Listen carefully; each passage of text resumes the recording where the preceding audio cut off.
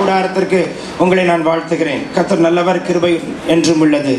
நம் கரங்களை தட்டி ஒரு பாடலை பாடுவோம். சின்னம் சிறுவயது என்னை குறித்து விட்டார். தூரம் போல் கண்டு கொண்டார்.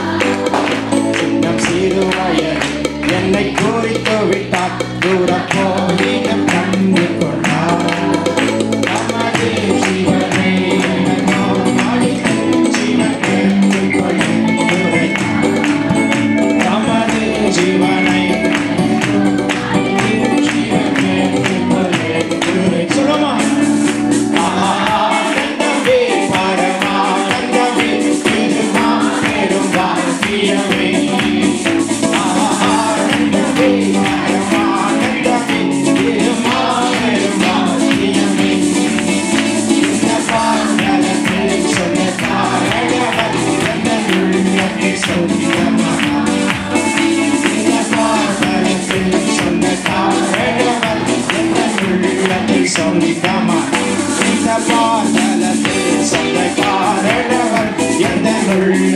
இந்த பால் மருளகம் திறக்கப்படுவதாக கத்தருடைய ஆவியானவர் இறங்கி வருகிறார் உன்னத வல்லமை இறங்கி வர கத்தருடைய அபிஷேக பிள்ளைகளை ஆட்கொள்ளட்டும் வானம் திறக்கப்பட்டாயிற்று மகளே தேவ தூதர்கள் இறங்கி வருகிறதை பார்க்கிறேன் ஒரு அபிஷேக தைலத்தை எடுத்துக்கொண்டு வருகிறார்கள் யாருக்கு அந்த அபிஷேக தைலம் வேண்டும் வெற்றிக்கொள் வெற்றிக்கொள் வெற்றிக்கொள் வெற்றிக்கொள் வாய்களை விரிவாய் தர நான் உன்னை நிரப்புகிறேன் நாவை தொடுகிறார் புதிய பாஷைகளை ஊற்றுகிறார் அவர் அவர் அவர்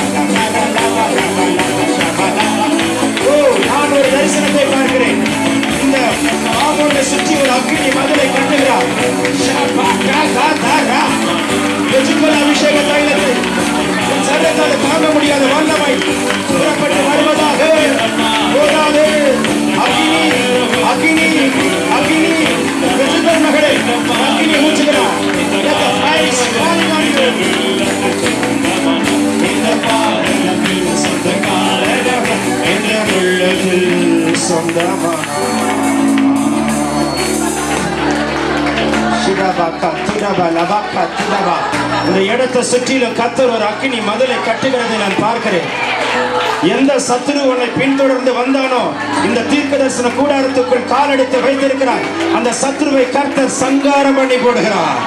சங்காரம் பண்ணி போடுகிறார். இதோ ஒரு வல்லமை இறங்கி வருகிறதை பார்க்கிறேன். பெற்றுக்கொள் விடுதலை. பொல்லாத பிசாசுகள் வெளியேறட்டும். மந்திர கட்டுகள் உடைக்கப்படுகிறது. செய்தியின் ஆரம்பத்தில் தேவனுடைய குணமாக்கிற வல்லமையை நான் பார்க்கிறேன். எலும்புகளுக்குள் ஒரு அபிஷேகம் பாய்கிறது. நரம்புகளுக்குள் ஒரு அபிஷேகம் பாய்கிறது. தசைகளுக்குள் ஒரு அபிஷேகம் பாய்கிறது. பெற்றுக்கொள் பெற்றுக்கொள் பெற்றுக்கொள் பெற்றுக்கொள். உன்னை அக்கினியாய் மாற்றுகிறார் மகளே. உன்னை அக்கினியாய் மாற்றுகிறார் மகளே. நீ இழந்து போன அபிஷேகத்தை உனக்கு திரும்ப தருகிறார். இழந்து போன ரெட்டிப்பான வல்லமை தருகிறார்.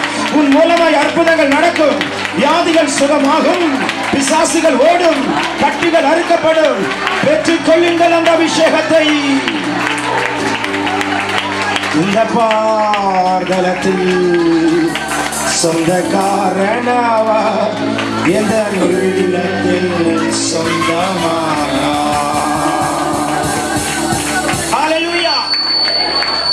பிதாவே சில மணித்துளிகள் எங்களோடு பேசும். சித்தமான வார்த்தை மட்டும் பேசுவீராக. கிருபை இருந்தால் தான் எங்களோடு பேச முடியும். கிருபைக்காய் கெஞ்சுகிறோம். கிருபை மேல கிருபை பெருகட்டும். பேசும் பொழுது அற்புதம் நடக்கணும். பேசும் பொழுது வியாதி சுகமாகணும்.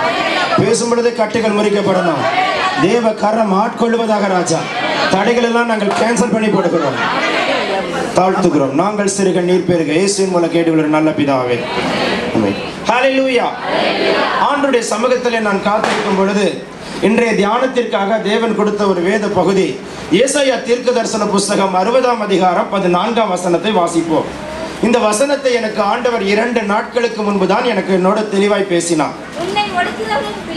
உன்னை ஒடுக்கினவர்களும் பிள்ளைகளும் குனிந்து உன்னிடத்தில் வந்து குனிந்து உன்னிடத்தில் வந்து உன்னை அசட்டை பண்ணின யாவரும் உன் கால் அடியில் பணிந்து உன்னை கர்த்தருடைய நகரம் என்றும்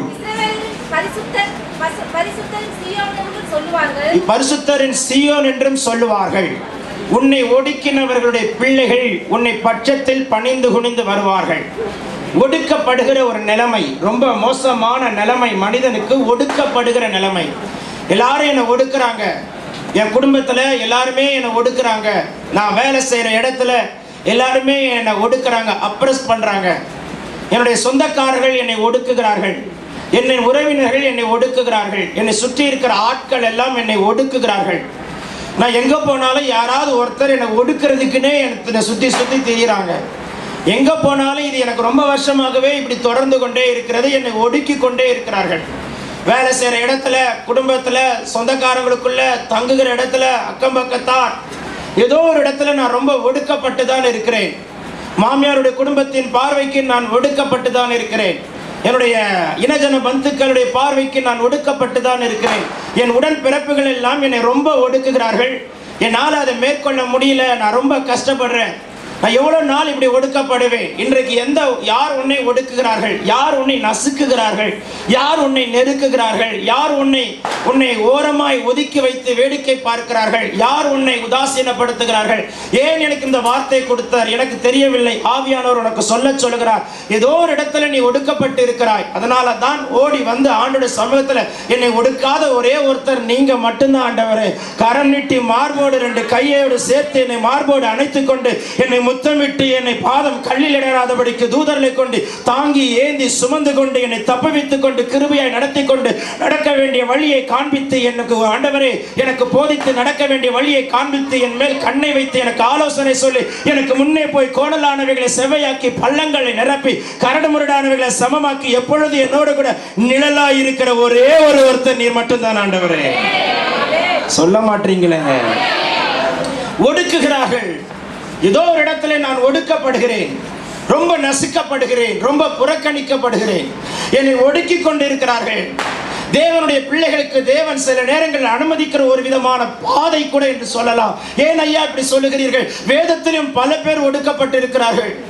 வேதத்திலும் பல மனிதர்கள் ஒடுக்கப்பட்டிருக்கிறார்கள். ஏதோ ஒரு இடத்துல ஒடுக்கப்பட்ட ஒரு சூழ்நிலையில தான் இருக்கிறார்கள். நசுக்கப்பட்ட ஒரு சூழ்நிலை தான் ஆனால் எதை யார் உன்னை ஒடுக்கி வைத்திருக்கிறார்களோ தெரியாது. ஆனால் கத்தர் சொல்லுகிறார் அந்த ஒடுக்கப்பட்ட இடத்துல தான் கத்தர் உன்னை எடுத்து நிறுத்த போகிறார். ஒடுக்கப்பட்ட இடத்துல தான் கத்தர் உன்னை எடுத்து உயர்த்த போகிறார்.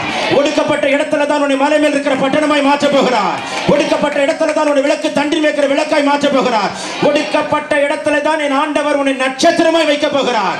ஒடுக்கப்பட்ட இடங்களுக்கு மத்தியில் தான் கத்தர் உன்னை நற்கீர்த்தியும் புகழ்ச்சியுமாய் வைப்பார். உன் கண்கள் காண கத்தரதை கிருபை தருவாராக. சொல்ல மாட்டீங்களே? யாத்ராகம் ஒன்றாம் அதிகாரம் பன்னிரெண்டாம் வசனத்தை வாசிப்போம். எக்ஸோடஸ் சாப்டர் ஒன் verse 12 யாத்ராகம் ஒன்று பன்னிரெண்டு. ஆனால் யாத்ராகமம் ஒன்றாம் அதிகாரம் பன்னிரெண்டாம் வசனம். எவ்வளவாய் ஒடுக்கினார்களோ மைக்குன்னு ஒன்று இருக்குன்னு நான் விசுவாசிக்கிறேன். அதற்காக தேவனை ஸ்தோத்தரிக்கிறேன். ம், வாசிங்க இப்போ.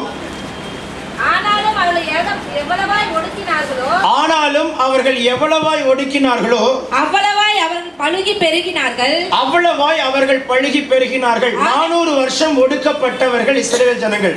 உங்களை ஆறு மாசம் ஒடுக்கினாலே உன்னால தாங்கிக்க முடியல வேற வேலை பாழி ஓடி போயிடுறீங்க. ஆறு மாசம் யாராவது ஒடுக்கினாலே அந்த வீட்டை காலி பண்ணிட்டு வேற வீட்டுக்கு ஓடி போயிடுறீங்க. ஆறு மாசம் யாராவது உங்களை ஒடுக்கினாலே அந்த இடத்த விட்டு காலி பண்ணி வேற பக்கமா நான் இந்த பக்கமே வரலப்பா ஓடி போயிடுறேன் பண்ணிட்டு அட்ரஸை மாத்திடுறீங்க. நானூறு வருஷமா ஒரே அட்ரஸ்ல உட்கார்ந்துருக்கிறாங்க. நானூறு வருடங்களை ஒரே அட்ரஸ்ல ஒடுக்கப்பட்டிருக்கிறார்கள். எகிப்தியர்கள் இஸ்ரேவர்களை அடிமைப்படுத்தி வைக்கிறார்கள். சாந்தும் செங்கலுமான பாரமான சுமைகளை வைத்து அறுக்க வைத்துக் கொண்டு அவர்களை நாற்றத்துக்குள் நாற்றத்தில் உட்கார வைத்து எல்லா வேலையும் வாங்கிக்கிறாங்க. இஷ்டம் போல வேலை வாங்கிட்டு அவங்கள தண்ணி காட்டி கொண்டிருக்கிறார்கள். ஒரு கூட்டத்தார் நானூறு வருஷம். நானூறு வருஷத்துல ஒரு சந்ததி போய் இன்னொரு சந்ததி ஏனென்றால் மோசைக்கு சொன்னார் மனுஷனுடைய ஆயுசு நாட்களை நூத்தி இருபது என்று தேவன் தெளிவாய் சொல்லிவிட்டார். அப்ப நூத்தி இருபது நூத்தி இருபது நூத்தி இருபது நூத்தி இருபது கால்குலேட் பண்ணி பாருங்க. நானூத்தி எண்பது அப்படி என்று சொன்னால் ஒரு மூன்று ஜென்ரேஷன் ஒடுக்கப்படுகிற ஒரு நிலைமை. மூன்று விதமான தலைமுறைகள் ஒடுக்கப்படுகிறார்கள். நானூறு வருஷம் உடைமை ஒடுக்கப்படுகிறார்கள். ஆண்டவர் ஆபரகாமுக்கு ஆதியாகும் பதினைந்தாம் அதிகாரத்தில் தீர்க்க தரிசனமாய் சொல்லிட்டார். இப்படி உன்னை ஒடுக்குவார்கள் உன் ஜனத்தை ஒடுக்குவார்கள் என்று சொல்லிவிட்டார். முன்குறிக்கப்பட்ட ஒரு அனுபவம் தான் தேவன் ஒரு மனிதர்களை ஒரு ஜனத்தை உருவாக்குற ஒரு அனுபவம் தான். நானூறு வருஷமாய் ஒடுக்கப்படுகிறார்கள். ஆனாலும் அதே இடத்துல தான் கஷ்டப்படுகிறார்கள். அவர்களுக்கு ஒரு காலம் வராதா ஒரு சீசன் வராதா வேதம் சொல்லுகிறது. யோசிப்பை அறியாத ஒரு ராஜன் தோன்றினானாம். அவன்தான் மோசே. ஆண்டவர் ஒடுக்கப்படுவர்களை விடுவிக்கிறது என்று ஒரு தூதனை தேவன் ஏற்படுத்துகிறார் ஒரு தாசனை ஏற்படுத்துகிறார் ஒரு மனுஷனை ஏற்படுத்துகிறார். இன்றைக்கு ஒடுக்கப்படுகிற நிலைமையில் இருக்கிற சகோதரா சகோதரி என் தேவன் உனக்கு சொல்லுகிறார். இந்த மாசத்தில் உனக்கு தீர்க்க தரிசனமாய் சொல்லுகிறார். அடுத்த மாசம் பத்தொன்பதாம் தேதி வரும்பொழுது நீ சாட்சி சொல்வாய். எனக்கென்று ஏற்படுத்தப்பட்ட ஒரு தூதனை நான் இந்த மாசம் பார்க்க போகிறேன். உங்களுக்கென்று ஏற்படுத்தப்பட்ட ஒரு தூதனை இந்த மாசம் நீங்கள் பார்க்க போகிறீர்கள் என்று கத்தர் உங்களுக்கு தீர்க்க தரிசனமாய் உரைக்கிறார். இது உன் தலையின் மேல் விழுந்த வார்த்தை அப்படியே பறிப்பதாக. உனக்கென்று ஏற்படுத்தப்பட்ட ஒரு தூதனை நீ பார்க்க போகிறாய்.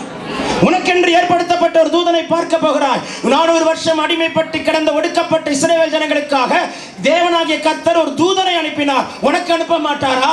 என் சகோதரி உனக்கு அனுப்ப மாட்டாரா? என் சகோதரா வேலை ஸ்தலத்தில் உனக்கு அனுப்ப மாட்டாரா? என் மகளை உனக்கு அனுப்ப மாட்டாரா? உன் கோர்ட்டு கேஸ்ல உனக்கு அனுப்ப மாட்டாரா? உன்னுடைய உறவினர்களுக்கு மத்தியில் நீ ஒடுக்கப்படுகிற இடத்துல உனக்கு ஒரு தூதனை அனுப்ப மாட்டாரா? எந்த இடத்துல தலகுனிந்து வெட்கப்பட்டு மோசமான நிலைமைக்கு தள்ளப்பட்டு நீ ஒடுக்கப்பட்டு இருக்கிறாயோ அந்த இடத்துல பரத்தில் இருந்த சிங்காசனத்தில் இருந்த ஒரு ஏணி வைக்கப்பட்டிருக்கிறது. அந்த ஏணி வழியா இறங்கி வருகிற ஒரு தூதனை இந்த மாசம் நீங்கள் பார்ப்பீர்கள் என்று என் ஆண்டவராகிய கர்த்தர் தீர்க்க தரிசனமாய் உரைக்கிறார். என் தேவன் பொய் சொல்ல மாட்டார் மனம் மாற மாட்டார் சொல்லியும் செய்யாதிருப்பாரோ சொன்னதை செய்து முடிக்க என் கர்த்தர் வல்லவரா இருக்கிறார்.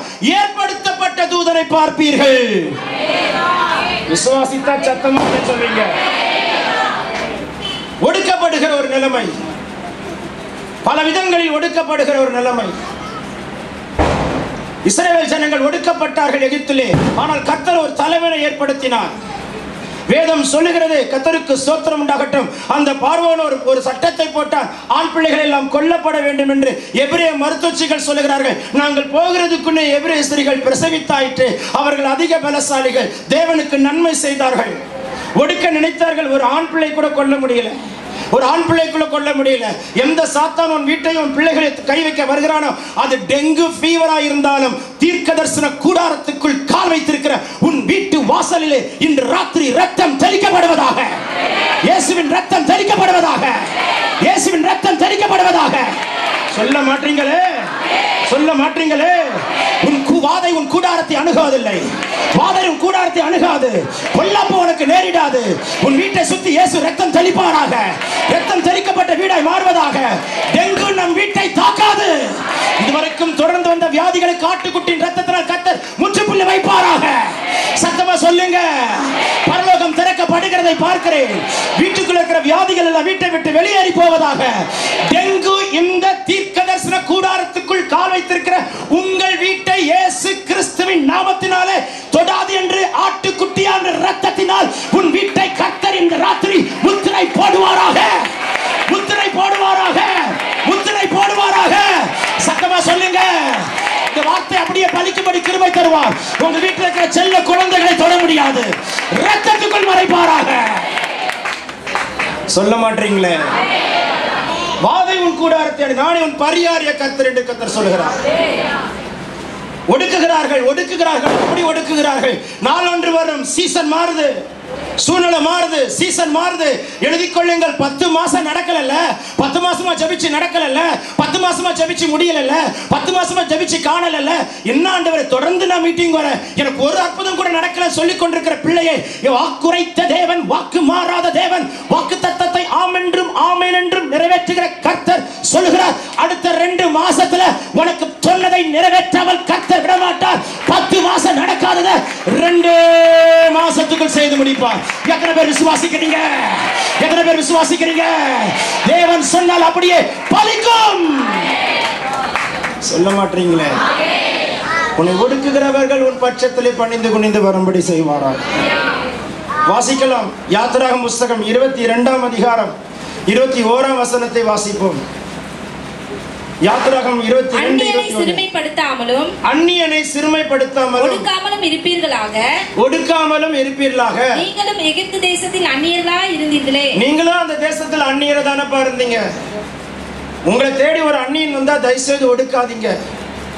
அந்நியனை புறக்கணிக்காதீங்க. அந்நியன் என்று சொன்னால் என்ன அர்த்தம்? ஆண்டவர் அறியாத ஜனங்களா இருக்கலாம். இல்லை உன்னை விட மோசமான ஜனங்களா இருக்கலாம். ஆகையினால தான் தயவுசெய்து சொல்கிறேன் சிலர்லாம் அந்நியன் என்று மற்ற மற்ற பீப்புள் அப்படி தப்பாக நினைப்பாங்க. மற்ற பீப்புள் உங்களுக்கு புரிய நினைக்கிறேன். Joe it is a public place I cannot open up மற்ற பிள்ளைகள் என்று சொன்னால் கேஸ் பார்ப்பாங்க. அவர்கள் அந்நியனா நினைப்பார்கள். கொஞ்சம் தான் பெருசு நினைக்காதீங்க. மாம்சமான யாருக்கு அவர் தேவன். எல்லாரும் சமமாக பார்க்குறாரு. அதெல்லாம் பார்த்தா பொருளத்துக்கு போக முடியாது. நீ பைபிள் முழுசும் படிச்சிருக்கலாம். பைபிள் முழுசும் கரைச்சி குடிச்சிருக்கலாம். ஆதியாம தான் வெளிப்படுத்தின சிஷம் உனக்கு முள்ள தெரியல. ஆனால் ஓன் பிள்ளைய ஓ இதில் தான் நீ பண்ணுவேன் நீ நினைச்சினா ஐ எம் சாரி அதுக்காக அடுத்த மீட்டிங் நான் வரமாட்டேன். நீங்கள் ச- சபதம் எடுத்தாலும் நான் கவலைப்பட மாட்டேன். ஐம் நாட் எ மேட்டர் சத்தியத்தை சத்தியமாக நான் சொல்லி தான் தருவேன். அந்நியனை வெறுக்காதீங்க. எந்த அந்நியனை ஒடுக்காதீங்க. அந்நியனா நினைக்காதீங்க. யாரையும் அந்நியனை பார்க்காதீங்க. யாரையும் அந்நியனா நினைக்காதீங்க. அந்நியர்களை ஒடுக்கிற தேவன் விரும்ப மாட்டார். யாரையுமே அந்நியனை பார்க்காதீங்க. அந்நிய கூட அந்நியனை பார்க்காதீங்க. புரிஞ்சா ஸ்தோத்திரம்? உன் மாமியாரை கூட அந்நியனை பார்க்காதீங்க. உங்க சொந்தக்காரங்கள சில முன்ன பின்ன மாமியார் அப்படிதான் இருப்பாங்க சிலருக்கு. அதுக்காக சோதனம் பண்ணுங்க. ஏன் அப்படிலாம் எனக்கு ஒரு மாமியாரை கொடுக்குறீங்க நல்ல மாமியாரை தர மாட்டீங்கன்னு யாராவது கேள்வி கேட்டீங்கன்னா நாளைக்கு நீ நல்ல மாமியாரை வருவன் தான் கத்தரிப்பெல்லாம் கொடுத்து வச்சிருக்கிறாரு. அவங்கள வந்து உனக்கு டீச்சே பண்றாரு. நீ நல்ல மாமியாரை வா மகளே அப்படின்னு சொல்லி உனக்கு அப்படியெல்லாம் ஆட்களை கொடுத்து சொல்லி கொடுக்குறாரு. எந்த அந்நியரையும் ஒடுக்காதீங்க. அது தேவன் விரும்ப மாட்டார். யாரையும் அண்ணனை பார்க்காதீங்க. நான் அடிக்கடி சொல்லுவேன் ரோட்ல இருக்கிற பிச்சைக்காரன் கூட தேவனுடைய அவனை தான் பார்க்கிறார். தரித்திரன் லாசரு கத்தருக்கு சோத்திரம் உண்டாகட்டும். அந்த தரித்திரன் மேஜையின் மேல் இருக்கிற கீழே விழுகிற துணிக்கை எடுத்து புசித்தான். அவன் அவனுடைய அந்த ஐஸ்வர்யம் அவனுடைய பார்வைக்கு அவன் ஒரு அந்நியனாய் தான் தெரிந்தான். ஆனால் எங்கே போய் இருந்தான் ஆபரகாம் அடியில. இவன் ஐஸ்வர்யவானானா? அவன் தரித்திரரானா ஐஸ்வர்யவான் தரித்திரரானா தரித்திரன் ஐஸ்வர்யவானானா? ஆகையினால தான் யாரையுமே அற்பமா எண்ணாதீங்க. யாரையும் அற்பமா யாரையும் நீங்க யாரையும் ஒடுக்காதீங்க. வார்த்தையால கூட ஒடுக்காதீங்க. கத்தருக்கு சோத்திரம். ரெண்டு ஆண் பிள்ளைகள் இருக்கலாம் அதுக்கு ரெண்டு மருமகள் இருக்கலாம் உங்களுக்கு ரெண்டு மருமகளா இருக்கலாம். ஒன்னு ஒரு மாதிரி இருக்கும் ஒண்ணு நல்லா இருக்கும். சோத்திரம் போட்டு ரெண்டு சமமா பாருங்க கத்தருக்குள்ள உயர்த்துவாங்க இப்ப ஆமேனே வராதுன்னு தெரியும் அலை லூயா வாசிக்கலாம் யாத்திரகம் புஸ்தகம். இருபத்தி இரண்டாம் அதிகாரத்தினுடைய இருபத்தி இரண்டாம் வசனத்தை வாசிப்போம். விதவையையும் திக்கற்ற பிள்ளையையும் ஒடுக்காமலும் இருப்பீர்களாக. திக்கற்ற பிள்ளைகளை ஒடுக்காதிருங்கள். விதவைகளை ஒடுக்காதீங்க. அவர்கள் உங்கள் புருஷனை இழந்து போய் உட்கார்ந்திருக்கலாம். திக்கற்ற பிள்ளைகள் தாய் தகப்பன் இல்லாமல் இருக்கலாம். அவர்களை எப்படியாவது விதத்தில் ஆதரியுங்கள். அவர்களை தேவனுடைய அன்பினாலே அவர்களை ஆதரியுங்கள். அவர்களை ஒடுக்காதிருங்கள். அவர்களுக்கு முடிந்தால் உதவி செய்யுங்கள். நன்மை செய்ய பழகுங்கள். தான தர்மம் செய்யுங்கள். யாரையும் ஒடுக்காதீங்க. அவர்களுடைய நிலைமை உங்களுக்கு வந்தால் உங்களால் என்னால் தாங்கிக் கொள்ள முடியாது. அவருடைய தனிமை உங்களுக்கும் எனக்கும் வந்தால் உங்களால் என்னால் தாங்கிக் கொள்ள முடியாது. அந்த விதவைகள் வாழ்க்கையில தனிமையாக்கப்படுகிறார்கள் தனிமையாக்கப்பட்டு வாழ்க்கையில பல விதங்களிலே நசுக்கப்படுகிறார்கள். சமுதாயத்திலே அவர்கள் ஒவ்வொரு விஷயத்திலும் ஒவ்வொரு நாளும் ஜெயித்து கொண்டுதான் ஓடுகிறார்கள். ஒவ்வொரு நாளும் சமுதாயத்தில் அவர்கள் ஜெயம் எடுத்து ஜெயம் எடுத்து முன்னூத்தி அறுபத்தைந்து நாளும் மனிதர்களோடு போராடி தான் ஜெயம் எடுக்கிறார்கள். ஆகையினால தான் வேதம் சொல்லுது கத்தர் சொல்கிறார் விதவைகளை ஒடுக்காதிருங்கள். திக்கற்ற பிள்ளைகளை ஒடுக்காதீர்கள். ஏன்? நீங்க எதுல கஷ்டப்படுறீங்களோ அந்த கஷ்டத்தை இன்னொருத்தர் சகிக்க நீங்க அனுமதிக்காதீங்க. அதனால சொல்லுங்க நான் பட்ட கஷ்டம் என் பிள்ளை படக்கூடாது நான் பட்ட கஷ்டம் என் பிள்ளை படக்கூடாது. இன்றைக்கு யாராவது உன்னை ஒடுக்குகிறார்களா? இன்னைக்கு திக்கற்ற பிள்ளைகளாய் விதவைகளைப் போல எனக்கு யாருமே இல்லை ஐயா. எனக்கு புருஷன் இல்லை ஐயா மனைவி இல்லை ஐயா பிள்ளைகள் இல்லையா நான் இப்படிதான் கஷ்டப்படுறேன் நீ சொல்லிக் கொண்டிருக்கிறாயா? என் ஆண்டவர் சொல்லுகிறார் மகளே கலங்காதே. கத்தருடைய கார ஆண்டவராகிய கர்த்தர் உனக்கு கணவனாய் மனைவியாய் துணையாய் பிள்ளையாய் பெற்றோராய் தகப்பனாய் இயேசுவை எந்த ஸ்தானத்திலும் இயேசு வச்சு கொள்ளலாங்க சொல்ல மாட்டீங்களேங்க? ஒரு மனுஷனை ஒரு ஸ்தானத்துல தான் வைக்க முடியும். ஆனா என் ஆண்டவரை எல்லா ஸ்தானத்திலும் வைக்கலாம்.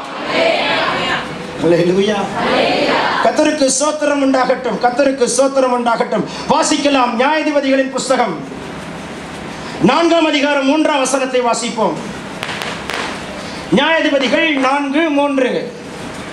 அவனுக்கு தொள்ளாயிரம் இருப்பு ரதங்கள் இருந்தது. அவனுக்கு தொள்ளாயிரம் இருப்பு ரதங்கள் இருந்தன. அவன் இஸ்ரவேல் புத்திரரை இருபது வருஷம் கொடுமையாய் ஒடுக்கினான். இஸ்ரவேல் ஜனத்தை இருபது வருஷம் கொடுமையை உடைக்கினான் யார் இவன்? ஒன்றாம் வசனத்தை வாசியுங்கள். ஏகுத் மரணம் அடைந்த பின்பு. ஒன்றாம் வசனத்தை வாசியுங்கள். ஏகுத் மரணம் அடைந்த பின்பு. இஸ்ரவேல் புத்திரர் திரும்பவும் கர்த்தர் ம். கர்த்தரின் பார்வைக்கு பொல்லாப்பானதை செய்த செய்து வந்தார்கள். இஸ்ரவேல் ஜனங்கள் கத்தருடைய பார்வைக்கு பொல்லாப்பானதை செய்ததனால தான் கத்தர் அவர்களை ஒடுக்கிறதற்கு ஒரு சேனையை அனுப்பி அனுமதிக்கிறார். வாசிங்கள் தொடர்ந்து. ஆகையால் கர்த்தர் அவர்கள் ஆத்துமா சோரில் ஆளுகிற யாபின் என்னும் கானானியருடைய ராஜாவின் கையிலே விற்று போட்டார். காணியானியருடைய கையில முதலாவது விட்டு போட்டார். கவனிங்கள் அவனுடைய சேனாதிபதிக்கு கானானியருடைய. கையிலே மாட்டக்கூடாது. தேங்க்யூ சிஸ்டர் கானானியருடைய கையில சிக்கக்கூடாது. கேனனைட் சபிக்கப்பட்ட ஒரு சந்ததி. காமனுடைய மகன்தான் காணான் காணான் சபிக்கப்பட்டவனாய் போனான். தகப்பனுடைய நிர்வாணத்தை கண்டான். ஆனால் கண்டது மட்டுமல்ல வேதம் சொல்லுகிறது காம் தமக்கு செய்ததை அறிந்து நோவா காணானை சபித்தான். நிர்வாணத்தை கண்டது மட்டுமல்ல he has done something wrong ஆகையினால் தான் கேனனைட் ஒரு சபிக்கப்பட்ட ஒரு சந்ததி சபிக்கப்பட்ட ஒரு சந்ததி ஆசீர்வதிக்கப்பட்ட ஒரு சந்ததியை ஒடுக்குகிறது. ஒரு சபிக்கப்பட்ட ஒரு சந்ததி ஒரு பாவ இச்சையில விழுந்த ஒரு சந்ததி ஆசீர்வதிக்கப்பட்ட ஒரு கூட்டத்தை ஒடுக்குகிறது. இது எந்த விதத்தில் நியாயம்? ஆசீர்வதிக்கப்பட்ட கூட்டமாக இருக்கிற இஸ்ரவேல் ஜனங்கள் அவர்கள் பொல்லாங்கானதை செய்ததனால் தேவன் அனுமதித்தார். பொல்லாப்பு நீ பாவம் செய்யும் பொழுது தேவன் உன்னை அனுமதித்து விடுகிறார்.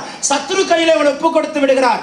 ஏன் எனக்கு இந்த கஷ்டம்னா ஏதோ ஒரு தவறுக்கு நீ உட்பட்டு போய் இன்னைக்கு நீ கஷ்டத்தில் உட்கார்ந்து இருக்கிறாய் ஏதோ ஒரு பாவத்தை நீ செய்ததனால் உனக்கு வந்த போராட்டமாய் கூட இருக்கலாம். ஆகினால் தான் கத்த சொல்கிறார் இன்றைக்கு என்னை தாழ்த்து என்று சொல்லி தாழ்த்துகிறேன் என்று சொல் மகளே. காணானியர் இஸ்ரவேலரை ஒடுக்கினார்கள். ஆகையினால தான் இருபது வருஷம் அவன் அடிமைப்படுத்தி வைத்தார் இஸ்ரேவேல். எத்தனை வருஷம் உன் வாழ்க்கையில் அடிமைத்தனம்? எத்தனை வருஷம் போராட்டம்? முப்பத்தெட்டு வருஷமாய் பெதஸ்தா குளம் ஒன்று அடிமைப்படுத்தி வைத்தது. என்னை கொண்டு போய் குளத்தில் விட எனக்கு யாருமே இல்லை. நான் தனி மனுஷனா உட்காந்து போராடிட்டு இருக்கிறேன். எனக்கு ஒத்தாசைக்கு ஒருத்தரும் இல்லை. நான் அனாதை போல உட்கார்ந்துட்டு இருக்கிறேன். எல்லாருக்கும் ஒரு அட்டெண்டர் இருக்கிறான். எனக்கு எல்லாருக்கும் ஒரு அட்டெண்டர் இருக்கா? தேவதூதன் எப்ப கலக்கிறானோ யாரோ ஒருத்தர் முந்தி இறங்கிடுறாங்க. நானும் முப்பத்தெட்டு வருஷமா இருக்கிறேன். ஆனா என்ன கொண்டு போய் விட யாருமே இல்லை. எனக்கு அப்புறம் வந்தவெல்லாம் சுகமாயிட்டான். எனக்கு முன்ன இருந்தவனும் நல்லாயிட்டான். நான் மட்டும்தான் இப்படியே இருக்கிறேன். எனக்கு அப்புறம் வந்தவனே எங்கேயோ போயிட்டான். எனக்கு முன்ன வந்தவனே எங்கேயோ போயிட்டான் அந்த குளத்தண்டைக்கு. ஆனா நான் மட்டும் இப்படியே உட்கார்ந்து இருக்கிறேன் என்ன கொண்டு போய் விட யாருமே இல்லை. என் வாழ்க்கையில் ஒரு முன்னேற்றமே இல்லை. இப்படியே முப்பத்தெட்டு வருஷமா இப்படியே நான் கஷ்டப்பட்டு உட்கார்ந்து இப்படியே நான் ஒடுக்கப்பட்டு இருக்கிறேன் இன்னைக்கு தான் என் வாழ்க்கையில் ஒரு விடுதலை என்று கேட்டுக்கொண்டிருக்கிற யாரா இருந்தாலும் சரி நீ இருக்கிற இடம் தேடி இயேசு வந்து உன் கையை பிடித்து தூக்கி உனக்கு சுகம் கொடுத்து எல்லாருக்கும் மத்தியில் சாட்சியா வைக்க கத்த விரும்புகிறார். இயேசுநாதருக்கே முப்பத்தி மூன்று வருஷம் தான் வாழ்ந்தாரு. ஆனா இவன் முப்பத்தெட்டு வருஷம். ஆண்டரோட கொஞ்சம் சீனியர் தான் அவன். வயசுல. இருக்கீங்களா இல்லையா? இயேசு பிறக்கிறதுக்கு முன்பதாகவே இப்படிதான் இருந்தான். இயேசு பிறக்கிறதுக்கு முன்பதாகவே அவனுடைய அட்ரஸ் பெதஸ்தா குழந்தான் அவன் அட்ரஸை மாத்துறாரு. அவன் அட்ரஸை மாத்திர ஏன் அட்ரஸை மாத்துறாரு திரும்ப திரும்ப வருதுன்னு தெரியல. யாரோ ஒருத்தருடைய அட்ரஸ் மாறுது. அதற்காக தேவனை சோத்தரிக்கிறேன் என்னங்க ஒரு மாதிரி பாக்குறீங்க? சிறிய வீட்டிலிருந்து பெரிய வீட்டுக்கு உங்களை மாற்றுகிறார். இருக்க ஒடுக்கப்பட்ட இடத்துல இருந்து உங்களுக்கு ஒரு சுயாதீனமா சுதந்திரமான இடத்துக்கு உங்களை மாற்றுகிறார். அவன் சொல்ல மாட்டீங்களே? யாரோ ஒருத்தருக்கு கத்தர் அட்ரஸ் மாத்துறாரு. அடுத்த மாசம் சொல்வீங்க என் அட்ரஸ் மாறி விட்டது சொல்ல மாட்டீங்களே? சத்தமா சொல்லுங்களேன். மாற போகுது எல்லாமே மாற போகுது இயேசுவின் வல்லமையால் மாற போகுது சொல்லுங்க. மாற போகுது எல்லாமே மாற போகுது இயேசுவின் வல்லமையால் மாற போகுது எல்லாமே மாறப்போகுது. போகுது எல்லாமே மாற போகுது சொல்லுங்க என் வாழ்க்கை ஃபுல்லா மாற நான் நினைச்சதெல்லாம் நடக்க போகுது. மாறப்போகுது எல்லாமே மாற போகுது இயேசுவின் வல்லமையால் மாற போகுது போகுது எல்லாமே மாறப்போகுது.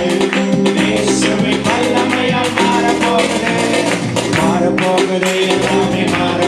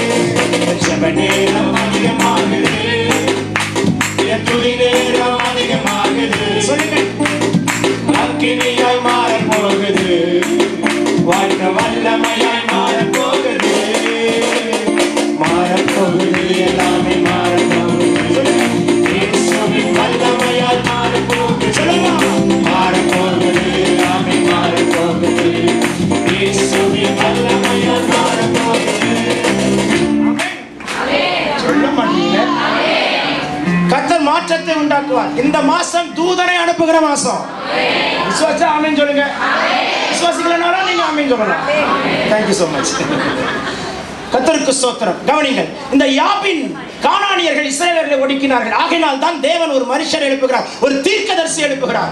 The lord has raised the prophets. கர்த்தர் தீர்க்கதரிசிகளை எழுப்ப காரணம் என்ன தெரியுமா? ஒருவர்களை விடுவிக்க தேவன் பயன்படுத்துகிற ஒரு பாத்திரம் தீர்க்கதரிசிகள். பழைய பாட்டில் அதிகமாய் தீர்க்கதரிசிகளை பயன்படுத்துகிறார்.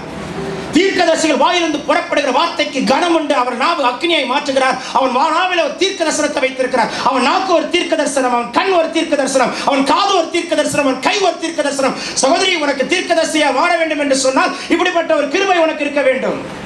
அவன் பார்த்தாலே தீர்க்க தரிசனமாய் தான் பார்ப்பான். மற்றவர்கள் பார்க்கிறது போல் பார்க்க மாட்டான். நீங்களும் நானும் கேளுங்கள் எனக்கு ஒரு தீர்க்க தரிசன வரத்தை வேண்டும் என்று கேளுங்கள். ஞான வரங்களை விரும்புங்கள். விசேஷமாய் தீர்க்க தரிசன வரத்தை விரும்புங்கள் என்று அப்போஸ்தலனாகிய பவுல் கொரிந்தியருக்கு சொல்லுகிறார். The prophetic prophetic is a supernatural anointing. அது ஒரு சூப்பர் நேச்சுரலான அனாயிட்டிங் இயற்கைக்கு அப்பாற்பட்ட ஒரு அபிஷேகம். ஆகையினால் தான் அநேக சாட்சிகளை கொண்டு வந்து நிறுத்துகிறார்.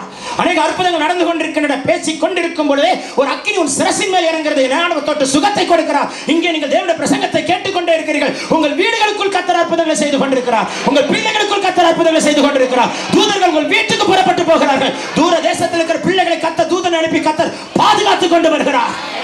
நாங்கள் பிரசங்கித்துக் கொண்டே தான் இருக்கிறோம். எங்களுக்கே தெரியாது. இயற்கைக்கு அப்பாற்பட்ட அபிஷேகம் தீர்க்கதர்சன அபிஷேகம் இந்த தீர்க்கதர்சன கூடாரத்துக்குள் உலாவிக் கொண்டே இருக்கிறது. ஆகினால் தான் உங்களையும் கர்த்தர் ஒரு வல்லமையுள்ள தீர்க்கதர்சிகளை எழுப்புகிறார். The prophetic anointing is a supernatural anointing. ஆகையினால் தான் ஒரு தெபோராவை கர்த்தர் பயன்படுத்தினார். பாராக்குக்கு சொல்லுகிறார் போய் யுத்தம் பண்ண போ என்று சொல்லுகிறார். நீர் வாரம் என்று சொல்லுகிறார். நான் வந்தால் அந்த மேன்மையும் கனமும் உனக்கு இருக்காது. வேறொருத்தருக்கு போயிடும் பரவாயில்ல வாரும் என்று சொல்லுகிறார். யாபினை கத்தருக்கு சோத்திரம். அங்க இருக்கிற அந்த யாகையில கொன்றது யார் தெரியுமா? ஒரு ஒரு ஒரு ஒரு வீட்டில் வேலை செய்கிற ஒரு பெண்ணை இந்த பெண் வைத்து தான் கொண்டார். சிசராவை கொன்றது சிசரா தானே? சோத்திரம். கொன்றது ஏன் சொல்லுகிறேன் தெரியுமா? ஒரு மனிதனை தேவன் யாரை எடுத்து பயன்படும் பெண்ணை கூட பயன்படுத்துறார்கள். பெண்களை கூட பயன்படுத்துறார். நான்லாம் ஏன் பெண்ணா பிறந்தேன்? யாராவது கேள்வி கேட்டிருந்தீங்கன்னா இன்றைக்கு அந்த எண்ணம் மாறட்டும்.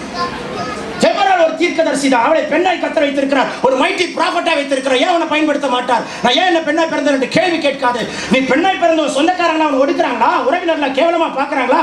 நீ சவாலிக்கிற சவாலா நிற்க கற்றுக்கொள். சொந்தக்காரங்களை உறவினர்களோட ஏளனமா பாக்குறாங்களா ஏ சகோதரா நீ சபலாய் வாழ கற்றுக்கொள். வாழ்ற வாழ்க்கை ஒரு வாழ்க்கை. இத்தனை பேர் என்ன கேவலமா பாக்குறான் என் தேவன் உயர்த்தாமல் விட மாட்டார் என்னை உயர்த்தாமல் விட மாட்டார் இந்த ஜனங்களுக்கு மத்தியில் என் தேவனை நட்சத்திரமாய் நிறுத்த வேண்டும் என்று சொல் கத்தவனை நிறுத்துவார். அதை விட்டு விட்டு கோழைத்தனமை வாழ பிடிக்கவில்லை இருக்க பிடிக்கவில்லை. நான் ஏன் வாழ வேண்டும் என்று கேள்வி கேட்காதே. இவங்களுக்கு மத்தியில் நான் இருக்கணுமா? செத்து போவது நல்லா இருக்கும் என்று நீ வார்த்தை சொல்லாதே. அவர்களுக்கு மத்தியில் நான் வாழ வேண்டும் என்று சொல். அவருடைய மத்தியில் என்னை சாட்சியை நிறுத்தும் என்று சொல் மகளே. பல இடங்களில் ஒடுக்கப்பட்ட சூழ்நிலையில காலகட்டத்தில் கடந்து வரும்பொழுதுதான் ஆண்டவர் சொன்னார் மேன் நீ மாறு மனிதனே நீ மாறு. நீ எழும்பு நீ எழும்பு நீ பிரகாசி. ஆயிரம் உன்னை தேடி வர வேண்டாமா? பல்லாயிரம் உன்னை தேடி வர வேண்டாமா? யாரை தேடி ஆயிரமும் யாரை தேடி பல்லாயிரம் வருகிறது? தீர்க்கதர்சன அபிஷேகம் பெற்ற மனுஷனை தேடிதான்.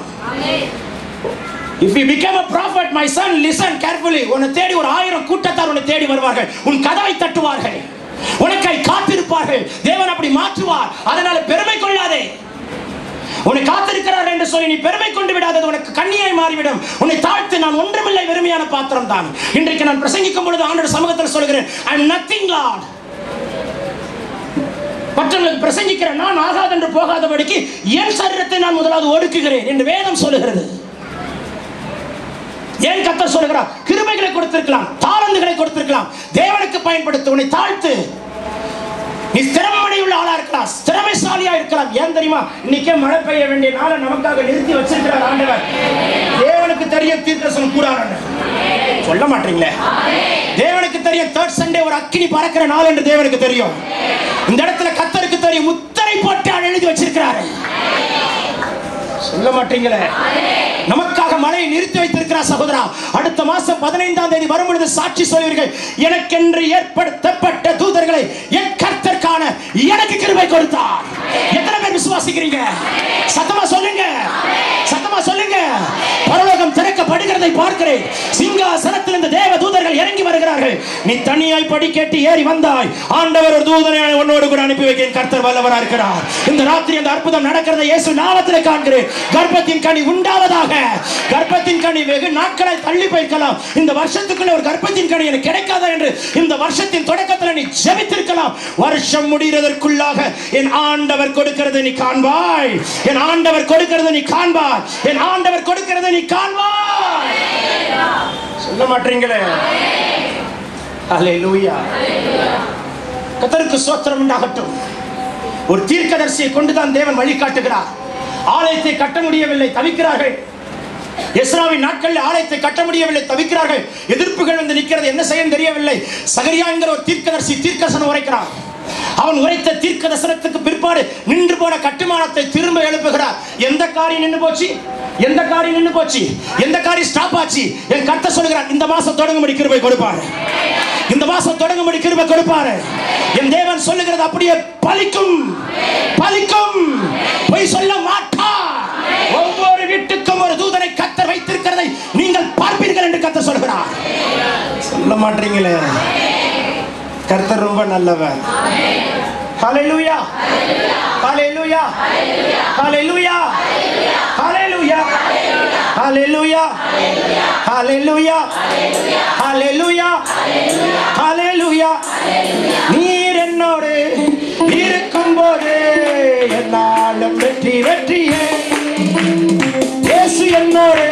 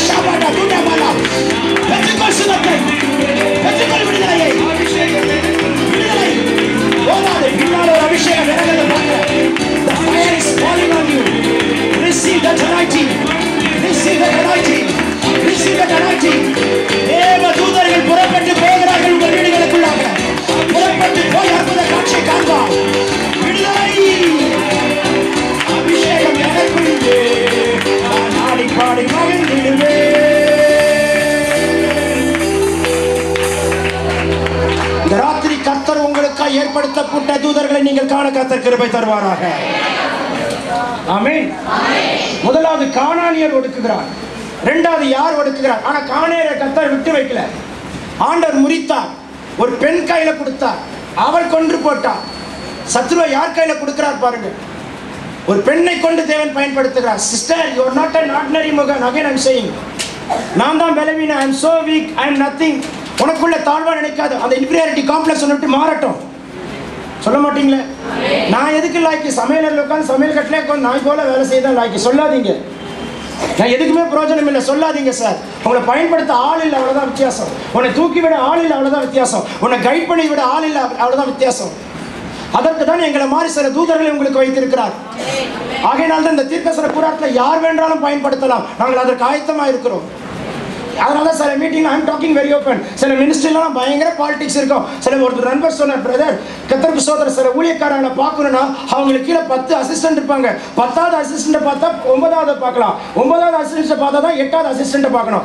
எயித் அசிஸ்டண்ட்டை மீட் பண்ணா you can meet the seventh assistant seven six five four three two one கை தட்டு அப்பதான் ஊழியக்காரர் பார்க்க முடியுமா? அவ்வளவு கீழே இருக்கிறாங்க.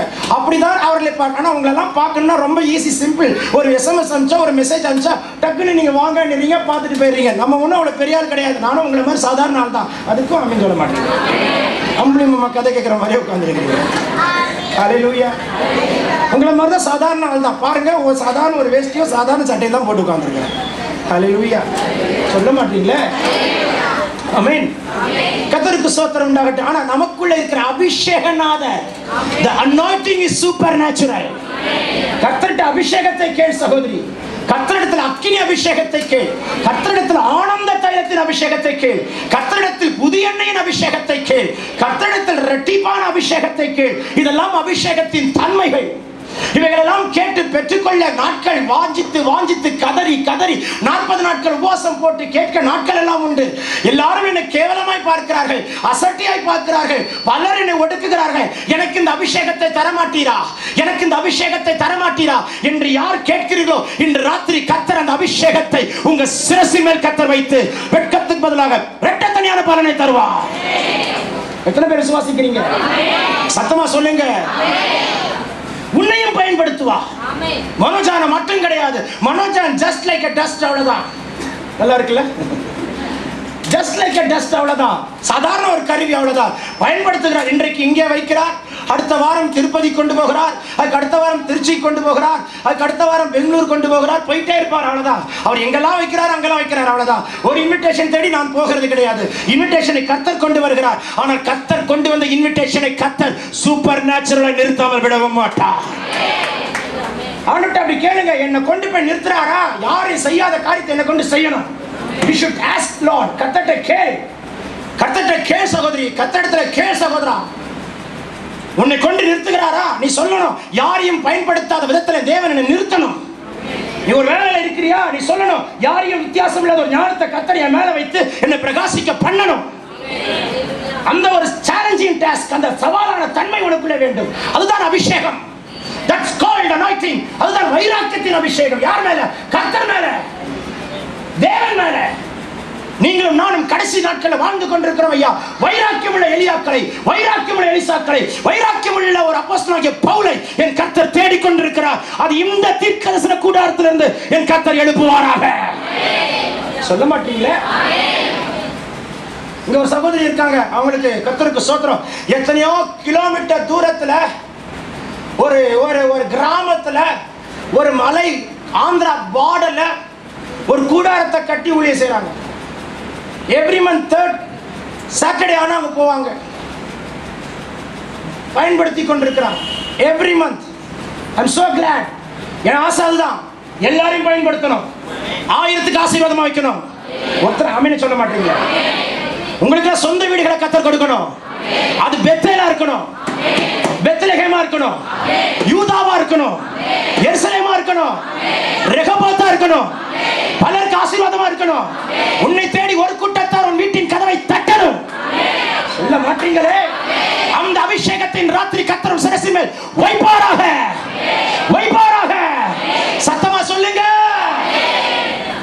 இரண்டாவது இஸ்ரவேலரை ஒடுக்கின இரண்டாவது கூட்டத்தை குறித்து நாம் பார்க்கலாம். நியாயாதிபதிகள் ஆறாம் அதிகாரம் ஒன்பதாம் வசனத்தை வாசிப்போம். நியாயாதிபதிகள் ஆறு ஒன்பது.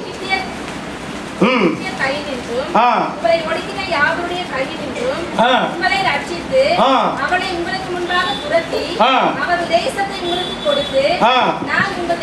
கர்த்தர் என்றும் ஆ. நீங்கள் குடியிருக்கும் அவர்கள் தேசத்தில் உள்ள எமோரியருடைய தேவர்களுக்கு பயப்படாதிருங்கள். என்றும் உங்களுக்கு சொன்னேன். கவனிங்கள் அடுத்து இஸ்ரவேலர்களை ஒடுக்கினது மீதியானியர்கள். இவர்கள் அடுத்த ஒரு கூட்டத்தார் இஸ்ரவேலர்களை ஒடுக்கினார்கள். ஆகையினால தான் இவர்களை மத்தியிலே கத்தர் ஜெயம் எடுக்க தெரிந்து கொண்ட இரண்டாவது பாத்திரம் கிதியோன். ஆண்டர் கிதியோனை தெரிந்து கொண்டார். எல்லாரை விட நான் ரொம்ப சிறியவன். என் கோத்திரத்திலே நான் தான் ரொம்ப சிறியவன். ஐயா என்னை கொண்டா கத்தர் செய்வார்?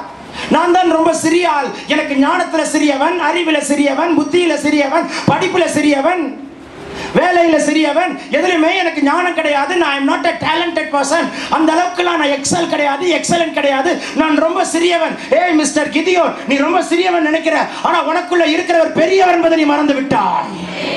நிறைய பேர் அப்படிதான் சொல்லிட்டு இருக்கீங்க. நான் ரொம்ப சிறிய ஆளு. ஆமா நான் கூட ரொம்ப சின்ன தான். படிப்புல சின்ன பத்தாம் கிளாஸ் ஃபெயிலான சிறியவன் பனிரெண்டாம் வகுப்பு ஃபெயிலான சிறியவன் கல்லூரி ஃபெயிலான சிறியவன். இப்படிலாம் பிரசவம் பண்ணவனே ஒரு பையன் சொன்னான் அவங்க அம்மாட்ட பிரதர் மனோஜானே இவ்வளவு ஆரியர் வச்சு பாஸ் ஆயிருக்காரு. நான் மட்டும் என்ன ஏய் நான் அரியர் வச்சு பாஸ் ஆனது ஜெபத்துல பண்ணி பாஸ் ஆனேன். நீ அரியர் வைக்க கூடாது அவனை பிரசவம் பண்ணிட்டு இருக்காரு. இருக்கீங்களா இல்லையா? அவன் உடனே அவங்க அம்மாட்ட போய் சொல்லியிருக்கான் மனோஜான் பிரதரே இவ்வளோ அரியர் வச்சிருக்கிறாரு. ஆண்டர் பாஸ் பண்ணலையா? என்ன நானும் அரியர் வைப்பேன். நீ வை ஆண்டர் பாஸ் பண்ணுறாருன்னு பாரு. நான் ஏன் அரியர் வச்சேன்னா ஸ்போர்ட்ஸ்லயே கவனம் செலுத்தி படிப்பை கோட்டை விட்டு கல்லூரிக்கே போகாம விளையாட்டு விளையாட்டு விளையாட்டுன்னு ஸ்போர்ட்ஸ்லயே உட்காந்து ஸ்போர்ட்ஸ்லயே கிரவுண்ட்லயே கிடந்து நான் ஸ்போர்ட்ஸ் மேன் ஆகணும்னு நினைச்சு கடைசியில ரெண்டு கை ரெண்டு கால் ஒடிஞ்சதுனால வந்த அரியர். உனக்கு எப்படி அரியர் வந்துச்சு? உனக்கு எப்படி அரியர் வந்துச்சு? நீ கொழுப்பு பிடிச்சி காலேஜ் போகாம நண்பர்களோட கெட்ட நண்பரோட ஊரை சுத்திட்டு சினிமா தேட்டர்ல அங்கேயும் உட்காந்துருந்தா தான் உனக்கு அறியாது இருக்கீங்களா இல்லையா தெரியல. கத்தருக்கு ஸ்தோத்திரம். கவனிங்க. ஆகையினாலதான் கத்தர் எல்லா இடத்திலும் எல்லா இடத்திலும் சிறியவனாய் தான் இருந்தேன். ஆங்கிலம் பேச தெரியாது அக்கா. எல்லா இடத்திலும் சிறியவன் வேலையில சிறியவன். ஒரு வேலைக்கு போயிட்டு தலகுனிஞ்ச நிலைமைகள் உண்டு. ஒரு வேலை ஸ்தலத்தில் உட்கார்ந்து தலகுனிந்த நிலைமைகள் உண்டு. எல்லாரும் ஒடுக்குகிறார்களே. எல்லாரும் ஒடுக்குகிறார்களே. ஆண்டரிடத்தில் நான் ஒரே ஒரு வார்த்தை சொன்னேன். எல்லாருமே வேலை செய்யற எல்லாருமே நீங்க எல்லாம் இந்த காரியத்தை சொல்லி ஜெபிக்கணும். நான் ஜெபித்த ஜெபத்தை கர்த்தர் கேட்டு எனக்கு பதில் கொடுத்த கர்த்தர் உங்களுக்கும் பதில் கொடுக்க வல்லவரா இருக்கிறார். நான் கடைசியா வேலை செஞ்சது கத்தருக்கு சோத்திரம். ஒரு ஹெச்ஆர் அசிஸ்டன்ட் மேனேஜரா ஒரு ஒரு ஒரு ஃபேக்டரியில சுகர் ஃபேக்டரியில் வேலை செய்ய கிருப செய்தான். அந்த ஃபேக்டரியில் அவ்வளோ பேர் இருக்கிறார்கள். பெரிய பெரிய ஆஃபீஸர்ஸ் இருக்கிறார்கள். ஜிஎம் உண்டு டிஜிஎம் உண்டு ஏஜிஎம் உண்டு. அப்புறம் என்ன? அப்புறம் இன்ஜினியரிங் ஹெட் உண்டு.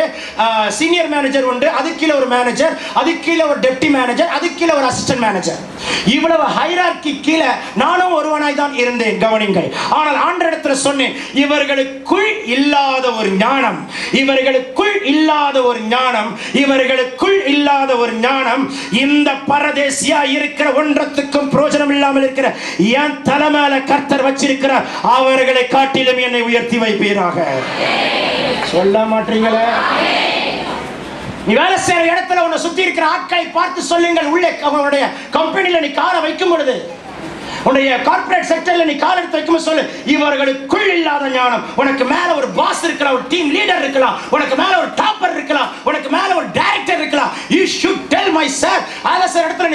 இவர்களுக்குள் இல்லாத ஒரு ஞானம். கர்த்தர் என் சிரசின் மேல் வைத்திருக்கிறார். இந்த ராத்திரி நீங்கள் இந்த பிரசங்கத்தை கேட்டுக் கொண்டிருக்கும் பொழுது என் ஆண்டவராகிய கர்த்தர் உங்கள் மேல் ஞானத்தின் ஆவி ஊற்றுவாராக. ஞானத்தின் ஆவி ஊற்றுவாராக. ஞானத்தின் ஆவி ஊற்றுவாராக. ஒரு ஜீவ நதி உன் தலையின் மேல் பாய்கிறதை நான் தரிசனத்திலே பார்க்கிறேன். இப்பொழுது அந்த ஞானத்தின் ஆவி ஊற்றப்படுவதாக. ஊற்றப்படுவதாக. சொல்ல மாட்டீங்களே? முழு நேர ஊழியத்துக்கு வருகிறதற்கு முன்பதாக நான் வேலை செஞ்ச ஃபேக்டரியில் இருக்கிற assistant I mean sorry engineering head இந்த மனுஷன் இப்போ இல்லை அவர் பேர் பூபதி. அந்த மனுஷன் சொன்னார் என்னுடைய ஹெச்ஆர் ஹெட்டுக்கிட்ட வந்து சொன்னார் இந்த மனோஜான எங்கள் இன்ஜினியரிங் டிபார்ட்மெண்ட் தர மாட்டீங்களான்னு. ஹலோ நான் இன்ஜினியர் கிடையாது. I not a mechanical engineer நான் மெக்கானிக்கல் இன்ஜினியர் குவாலிஃபிகேஷன் கிடையாது. அவர் ஏன் என்ன கூப்பிட்டாரு? ஒரு மெக்கானிக்கல் இன்ஜினியருக்கு ஒரு மெக்கானிக்கல் இன்ஜினியர் தானே கூப்பிடணும். எனக்கு அதுக்கு என்ன கூப்பிட்ட இல்ல அவரை கூப்பிடுங்களேன். அவர் எங்க டிபார்ட்மெண்ட் நான் உங்க டிபார்ட்மெண்ட்டுக்கு சம்மந்தமே இல்லை sir why you are calling no something you have உனக்குள் ஏதோ ஒன்று இருக்கிறது. எனக்குள் ஏதோ ஒன்று இருக்கிறதுன்றது அந்த ஆளுக்கு தெரியுது. எனக்கு மேல இருக்க பாசுக்கு தெரியல. சொல்ல மாட்டீங்களே? உனக்குள் ஏதோ ஒன்று இருக்கிறது. ஸ்தோத்திரம். ஒரு பெரிய கான்டெஸ்ட் வச்சாங்க. இன்னைக்கு அந்த ரெண்டு ஷீல்டு இருக்கு. பெரிய கான்டெஸ்ட் வச்சாங்க. அந்த கான்டெஸ்ட்ல நீங்க ஜெயிச்சீங்கன்னா ஒரு ஒரு ஃபைவ் டேஸ் ஒருத்தர் டார்ச்சர் இருக்கலாம். ரெண்டாவது இயர் அந்த கான்டெஸ்ட்ல நீங்க ஜெயித்தால் அந்த டெம்பிள் பே அப்படின்னு ஒரு ஒரு ஒரு ஒரு ஒரு ஹோட்டல் இருக்கிறது மாமல்லபுரத்துல. என்ட்ரன்ஸ்ல இருக்கும் டெம்பிள் பே ரிசார்ட் அதுல நீ அஞ்சு நாள் தங்கலாம். ஆனா அந்த கான்டெஸ்ட்ல ஜெயிக்கிறது ரொம்ப கஷ்டம் ரொம்ப ரொம்ப கஷ்டம். அதுல மொத்தம் பத்து பேர் தான் எடுப்பார்கள். ஆனாலும் நமக்கு நம்ம இங்கிலீஷ் தான் கத்துருக்கு சோத்திர கிருப இங்கிலீஷ் ஆச்சு. நம்மளும் எழுதி போட்டோம். கான்டெஸ்ட்ல எழுதி எல்லாம் எடுத்து அதுக்கு ரிசர்ச் எல்லாம் பண்ணணும். சுத்தி எடுத்து ரிசர்ச் எல்லாம் பண்ணி எடுத்து கிருபையா போறதுக்கு முன்னே என் வீட்டுல வந்து என் மனைவிக்கு தெரியும். குவார்டர்ஸ்ல ஸ்டே பண்ணியிருந்தோம். முழங்கால் போட்டு அது மேல கை வைத்த ஆண்டவரே இந்த பேதியாகி நானும் அனுப்புகிறேன். இதை நீ அங்கீகரிப்பீராக. இதை செலக்ட் ஆவதாக நிறுத்துவீராக சொல்லி அனுப்பியாச்சு. ஆனா ஒரு விசுவாசம் தேவன் நிறுத்துவார் என்று. நம்ப மாட்டீர்கள். ஆச்சரியத்திலும் ஆச்சரியம். நான்காவது நபராய் கத்த தெரிந்து கொண்டார். ஆனா நான் அந்த ஹோட்டல்ல தங்கலை. சொல்ல மாட்டீங்களே? அந்த ஹோட்டலுக்குள்ள தங்கினா ரூம் ஒன்று கொடுத்தா ரூம்ல பார்த்தா உள்ளேயே ஸ்விம்மிங் பூல் இருக்கீங்களா இல்லையான்னு தெரியல. சொல்ல மாட்டீங்களே? அந்த ஃப்ரிட்ஜை திறந்தா கண்டதெல்லாம் இருக்கு. என்னது என்பது உங்களுக்கே தெரியும். இருக்கீங்களா இல்லையா? அந்த நாட்களில் தான் நாஸ்ரேட் காலேஜில் பவர் கேம்ப் வச்சோம். ஞாபகம் இருக்காம தங்கச்சிகளா? காலையில போய் அந்த கான்ஃபரன்ஸ் அட்டன் பண்ணிட்டு ரூம்ல போய் தங்காம கார் எடுத்துட்டு நேராக ஆவடிக்கு வந்து க- அந்த கான்ஃபரன்ஸ்ல அந்த அந்த கான்ஃபரன்ஸ் முக்கியம் இல்ல. இந்த பவர் கான்ஃபரன்ஸா கத்த விரும்புகிறார். சொல்ல மாட்டீங்களே. எதுல நீ குறைவா இருக்கிறாய்? ஸ்தோத்திரம். மீதியான சொல்லுகிறான் ஆண்டவரே எல்லாரை விட நான் சிறியவர் ஏ கிதியோன் சொல்லாத. உன்னை கொண்டு நான் பெரிய காரியத்தை செய்வேன். அடையாளத்தை காட்டி உனக்கு செய்வேன். நீ நக்கி குடிக்கிற முன்னூறு பேரை எடுத்துக்கொள். ஆர்டினரி பீப்புள் தண்ணி குடிக்க கூட தெரியாத பீப்புளை தான் கத்தர் பயன்படுத்துறாரு. ஒரு தண்ணி கூட அவனுக்கு குடிக்க தெரியல. ஆமா தண்ணி கூட தூக்கி குடிக்க தெரியாம கீழே கொட்டுற ஆட்கள் அதுக்குமே பிரயோஜனம் இல்லை. ஒரு தண்ணி எடுத்து குடிக்க பிரயோஜனமற்றவர்கள் அவர்களை கொண்டுதான் என் கர்த்தர் ஜெயம் கொடுத்தார். சொல்ல மாட்டீங்களே? சொல்ல மாட்டீங்களே? உன்னை யார் ஒடுக்குகிறார்கள்? எல்லாரை விட நீ கீழான நிலைமையில இருக்கிறாயா சகோதரா? உன் சொந்தக்கார உறவினர்லாம் நிறைய சம்பாதிக்கிறான் நான் தான் இவ்வளோண்டு சம்பாதிச்சுட்டு உட்கார்ந்துருக்கிறேன் சொல்லி கொண்டிருக்கிறாயா? தொழில் செய்கிறவெல்லாம் எங்கெங்கேயோ போயிட்டா. நான் தான் இப்படி இருக்கிறேன்னு சொல்லி கொண்டிருக்கிறாயா? உறவினர்கள் எல்லாம் எங்கெங்கோ முன்னேறி போயிட்டாங்க. நான் தான் இப்படி இருக்கிறேன் சொல்லி கொண்டிருக்கிறாயா? ஒரு கால கட்டத்திலும் நானும் அப்படிதான் சொன்னேன் ஐயா. பஸ் ஸ்டாப்ல இருந்து ஒரு பஸ் ஸ்டாப் போறது கையில காசு இல்லாத வெறுமையாய் நின்ற நாட்கள் உண்டு. ஆனால் தலையின் மேல் வைத்த அபிஷேகம். சொல்ல மாட்டீங்களேங்க. தலை மேல அபிஷேகம். சூப்பர் நேச்சுரல் அனாயிட்டிங் கர்த்தர் இன்றைக்கு ராத்திரி உன் தலைமையில இயற்கை இயற்கைக்கு அப்பாற்பட்ட அபிஷேகத்தை வைப்பாராக. வைப்பாராக. வைப்பாராக. சொல்லும் பொழுதே பரலோகம் திறக்கப்படுகிறது. தேவ தூதர்கள் இறங்கி நின்று கொண்டிருக்கிறார்கள். இன்னைக்கு நைட் நான் ஏஞ்சலிக் மூவி ஒன்ஸ் பார்த்துட்டு இருக்கிறேன் தேவ தூதர்கள் உலாவுகிறதை பார்த்து கொண்டிருக்கிறேன். கத்தோடு தூதர்கள் இந்த இடத்துல உலாவி கொண்டிருக்கிறார்கள். உங்களுக்கு அற்புதம் செய்து கொண்டே இருக்கிறார்கள். தடைகளை உடைப்பாராக. உங்களுக்கு வர வேண்டிய ஆசீர்வாதத்தை கத்தர் கட்டவிழ்ப்பாராக ஒடுக்கப்பட்ட இடத்துல உங்க தலை நிமிர பண்ணுவாராக. ஒடுக்கப்பட்ட இடத்துல கத்தர் உங்களை நிமிர பண்ணுவாராக. உங்கள் வேரை கத்த துளிர்க்க செய்வாராக. சொல்ல மாட்டீங்களே? வாசிக்கலாம் அடுத்த வசனத்தை. நியாயாதிபதிகள் பத்தாம் அதிகாரம் எட்டாம் வசனத்தை வாசிப்போம். அவர்கள் அந்த வருஷம் முதற்கொண்டு. பதினெட்டு வருஷமாய் யோர்தானுக்கு அப்பாலே. கிளையாத்தில் உள்ள எமோரியரின் தேசத்தில் இருக்கிற இஸ்ரவேல் புத்திரரை எல்லாம் நெருங்கி ஒடுக்கினார்கள். அம்மோன் புத்திரர் யூதாவின் மேலும் அம்மோன் புத்திரர்கள் ஒடுக்குகிறார்கள். இந்த அம்மோன் யார்? லோத்தினுடைய ரெண்டு பெண் பிள்ளைகள் லோத்தோடு தவறாய் நடந்ததுல ஒரு சந்ததி தான் அம்மோன் சந்ததி. சபிக்கப்பட்ட சந்ததி ஆசீர்வதிக்கப்பட்ட சந்ததியை. விபச்சார சந்ததி ஆசீர்வதிக்கப்பட்ட சந்ததியை ஒடுக்கிறது. என்ன வேதனை பாருங்கள் மூன்றாவது. அம்மன் புத்திரர்கள் ஒடுக்கிறார்கள் காணானியர்கள் ஒடுக்கினார்கள் மீதியானியர்கள் ஒடுக்கினார்கள். இப்பொழுது அம்மோன் புத்திரர்கள் உங்களை ஒடுக்குகிறார்கள். ஒரு மோசமான ஆட்கள் அவர்களே நம்மளை ஒடுக்குறாங்க. என்ன நியாயம் ஆண்டவரே? அப்படின்னு நீங்க கேட்கலாம். அவர்கள் ஒடுக்குகிறார்கள் ஆனால் தேவன் தெரிந்து கொண்ட ஒரு மனுஷன்தான் எத்தா. எத்தா ஒரு பரஸ்திரிக்கு பிறந்தவன். அவனை தேவன் எடுக்கிறார். ஒரு நல்ல இடத்துல இருந்து பிறந்தவன் அல்ல. இரண்டாம் தரமாய் பிறந்தவன் அவன். ஆகையினால தான் அவனை அவனுடைய மூத்த தரத்தில் இருக்கிற பிள்ளைகள் எல்லாம் அவனை இனத்தார்கள் அவனை ஒதுக்கி விட்டார்கள். அவனை ஒதுக்கி விட்டு விட்டார்கள் எத்தாவை. எத்தா வீணரான மனுஷனோடு சேர்ந்தான் என்று வேதம் சொல்கிறது வீணரான மனுஷனோடு சேர்ந்து கொண்டான். இப்பொழுது அம்மோன் புத்திரர்கள் ஒடுக்குகிறார்கள் என்று சொன்னவனே அவன் ஜனத்தார் வந்து எத்தா நீ வரியா? நீ வந்தா எங்களுக்கு ஜெயமா இருக்குமே வரியா? யார் ஒதுக்குனாங்களோ ஒடுக்குனாங்களோ ஒதுக்குனாங்களோ அவர்களே தேடி வரும்படி மாற்றுகிறான் ஹலோ கவனிங்க. யார் உன்னை ஒடுக்குகிறார்களோ அவர்களே உன்னை தேடி வருவார்கள். யார் உன்னை ஒடுக்குகிறார்களோ அவர்களே உன்னை தேடி வருவார்கள். யார் உன்னை ஒடுக்குகிறார்களோ அவர்களே உன்னை தேடி உன்னிடத்திலிருந்து ஆசீர்வாதத்தை வாங்கும்படி வருவார்கள். இப்போ ஒடுக்கினவர்கள் ஒதுக்கினவர்கள் அவனை தேடி வந்து நீர் எங்களுக்கு ராஜாவா இருப்பாயா என்று கேட்கிறார்கள். இருக்கீங்களா இல்லையா? சொல்ல மாட்டீங்களே? ஹலெலூயா எத்தா என்று சொன்னால் திறக்கப்படுவதாக. ஆனால் எப்பத்தா? எத்தா. ரெண்டுமே ஒரே வார்த்தை தான். ஆமென் சொல்ல மாட்டீங்களே? எப்ரே மொழியில எத்தா எப்பத்தா? ரெண்டும் ஒரே வார்த்தை தான். எத்தா என்றால் திறக்கப்படுவதாக. சில காரியங்கள் எல்லாம் கத்துடைய பிள்ளைகள் போனாதான் திறக்கும். நீங்க போனாதான் திறக்கும். யாருக்கும் காரியம் நடக்க நீ போ. உன்னை கொண்டு கத்தர் செய்வார். நீ போய் கால வைப்ப. கத்தர் திறக்கிறான் பாருங்க.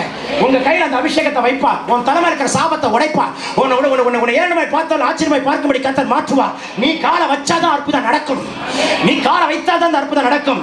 உங்களை மற்றவர்களுக்கு ஆசீர்வாதமா தேவன் வைக்க போகிறார். இந்த தீர்க்க தரிசன கூடாரத்துக்குள் கால வைக்கிற பிள்ளைகளை தேவன் அப்படிதான் வைப்பாராக. சொந்தக்காரர்கள் சொல்வார்கள் நீ வந்து கால வைத்தால் தான் எனக்கு அற்புதம் என்று சொல்லும்படி கத்த மாற்ற போகிறார். எத்தனை பேர் விசுவாசிக்கிறீங்க? எத்தனை பேர் விசுவாசிக்கிறீங்க? எத்தனை பேர் விசுவாசிக்கிறீங்க? யாரெல்லாம் உன்னை ஒதுக்கினார்களோ அவர்கள் உன்னை தேடி வந்து உனக்கு ஒரு இன்விடேஷன் வைத்து உன்னை அழைக்கக்கூடிய ஒரு கிருமையை கத்தர் உன் சிரசின் மேல் இந்த ராத்திரி வைப்பாராக. இந்த ராத்திரி சிரசின் மேல் வைப்பாராக. சொல்ல மாட்டீங்களே? நீ வந்து காலவை அப்பதான் அற்புதம் நடக்கும் என்று கூப்பிடும்படி கத்தர் மாற்றுவார். சொல்ல மாட்டீங்களே? சத்தமா சொல்லுங்களே ஹalleluya சத்தமா சொல்லுங்க. ஹalleluya என்னுடைய வாழ்க்கையில நடந்த ஒரு சம்பவத்தை எனக்கு தேவன் எனக்கு ஞாபகப்படுத்துகிறான் நான் உங்களுக்கு யாருக்கும் சொல்லியிருக்கேன் நினைக்கிறேன். மறுபடியும் ஆவின் நினைவூட்டுகிறான் வேலையே இல்லாத நாட்களிலே என்னை மேனேஜ் பண்ணுறதுக்கு நான் அப்போ ஒரு கோர்ஸ் பைபிள் கோர்ஸ் படிச்சுட்டு இருந்தேன். போக்குவரத்துக்கு கையில் காசு வேணும். அப்போ என் கையில் காசு இல்லை. ஆகையினால என்னுடைய நண்பர் ஒருவர் உண்டு. அவங்க சபையினுடைய விசுவாசி தான் அவங்க சமோசா விற்பாங்க அவங்க சமோசாவை நான் வாங்கிட்டு அந்த பேக்கெட்டில் குட்டி சமோசா நாலு இருக்கும். நாலு ஒரு பேக்கெட்டை கொடுத்தா எனக்கு நாலுனா கிடைக்கும். நாலு பேக்கெட் விற்றா ஒரு ரூபாய் கிடைக்கும். இப்படி தான் சமோசாவை கடைக்கடையா கடைக்கடையா கடைக்கடையா ஐநாவரத்துலேருந்து டேனாம்பேடு வரைக்கும் விற்றுட்டு போவேன். விற்றுட்டு கடைசியில் என் கிளாஸில் போய் உட்காருவேன். மீதி வர பாக்கெட்லாம் நண்பர்களுக்கு கொடுப்பேன். அந்த டீச் பண்ண வர டீச்சருக்கு கொடுப்பேன். தட்ஸ் மை லைஃப் அப்படி ஒரு வருஷம் நான் இருந்தேன். கவனிங்க. அப்போ நான் ஒரு ஸ்கூல்ல கால் வச்சு அந்த ஸ்கூல்ல இருக்கிற கேண்டீனை கேட்டேன் நீங்க சமோசா வாங்குறீங்களான்னு கேட்டேன்.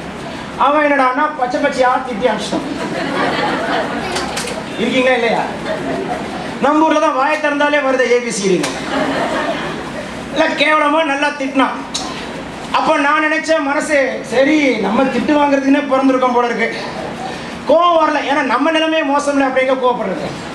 அப்படியே ஒரு ஓரமாய் வந்தேன். அப்போ அந்த கார் பார்க்கிங்ஸ்லாம் இருந்துச்சு. அண்ட் நான் பண்ண பைத்தியக்காரத்தனத்தை சொல்லுகிறேன். ஐம் டாக்கிங் வெரி ஓப்பன் அப்போ அந்த கார் டோரை திறந்த உடனே நான் அந்த கார் கிட்ட நின்று அந்த காருடைய fragrance I use to love it like it நான் அதை அந்த ஃப்ராக்ரன்ஸை அதை ஸ்மெல் பண்ணிட்டு நான் மனசில் சொன்னேன் இந்த மாதிரிலாம் காருடைய பெரிய பெரிய காருடைய ஃப்ராக்ரன்ஸ்லாம் இழுக்கிறது தான் நமக்கு தகுதி போல இருக்கு. ஏன்னா இவன்ட்டு திட்டு வாங்கணும் சரி ஆண்டவரே இவன்லாம் நம்மளை திட்டுற அளவுக்கு நீங்கள் வச்சுட்டீங்க உங்க நீங்களும் வேடிக்கை பார்த்துட்டு நிற்கிறீங்க உங்களுக்கும் சந்தோஷம் தானே? இப்படிலாம் ஆண்டவர்கிட்ட பேசிட்டு போறேன். ஆனால் வருத்தப்பட மாட்டேன். ஆனால் ஆண்டவர் விட மாட்டேன். எவ்வளோ சோதனை வந்தாலும் ஆண்டவர் விட மாட்டேன். அந்த விஷயத்தில் கரெக்டாக இருப்பேன். ஒருத்தர் ஆமேன்னு சொல்ல மாட்டீங்க. ஆண்டோட இப்படி தான் சொன்னேன். இவெல்லாம் முன்ன பின்ன தெரியாதவெல்லாம் கெட்ட வார்த்தை போட்டுற திட்டுற அளவுக்கு என் நிலைமை அவ்வளோ மோசமாக போயிடுச்சு. அதெல்லாம் பார்த்து உங்களுக்கு சந்தோஷமா ஆண்டவரே? உங்களுக்கு ஓகே தானே ஆண்டவரே? அப்படிலாம் நான் கேட்டுட்டு நான் நாட்களை கடத்தி விட்டேன் கவனிங்கள் அந்த பைபிள் ஸ்கூல்ல ஒரு டீச்சர் வந்து டீச் பண்ணிட்டு என்ன கேட்டா நீ என்ன பண்ணுறனாரு உன் குவாலிஃபிகேஷன்னாரு நான் சொன்னேன் எம்எஸ்டபிள்யூ முடிச்சிருக்கேன்னாரு. எம்எஸ்டபிள்யூ முடிச்சிருக்கீங்களா? என் டாக்டர் கூட எம்எஸ்டபிள்யூ முடிச்சுட்டு தான் ஒரு கவுன்சிலிங் சென்டர் நடத்திட்டு இருக்கிறாங்க. நீங்க ஜாயின் பண்றீங்களா? அப்படின்னு கேட்டார்.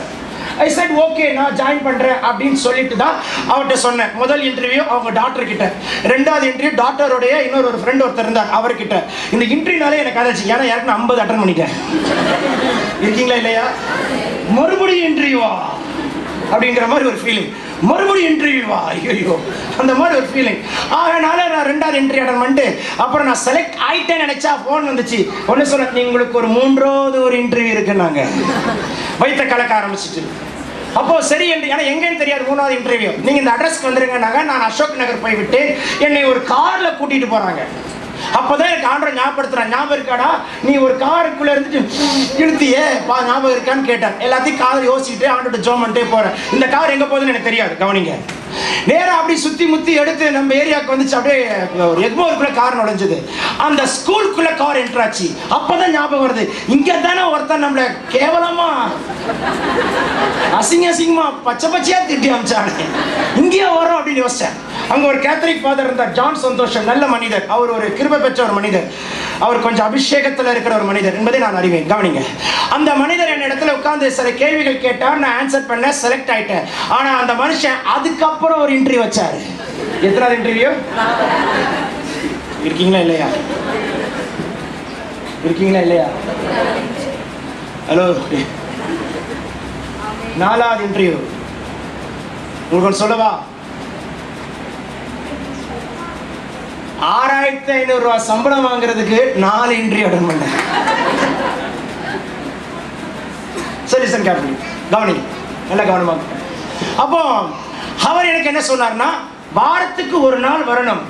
நான் சில பிள்ளைகளை அனுப்புவேன். நீ ஆலோசனை கொடுக்கணும். நான்கு வாரம். நான்கு ரிப்போர்ட் எனக்கு சப்மிட் பண்ணும் இந்த நான்கு ரிப்போர்ட் கரெக்டாக இருந்தால் தான் யூ ஆர் செலக்டட்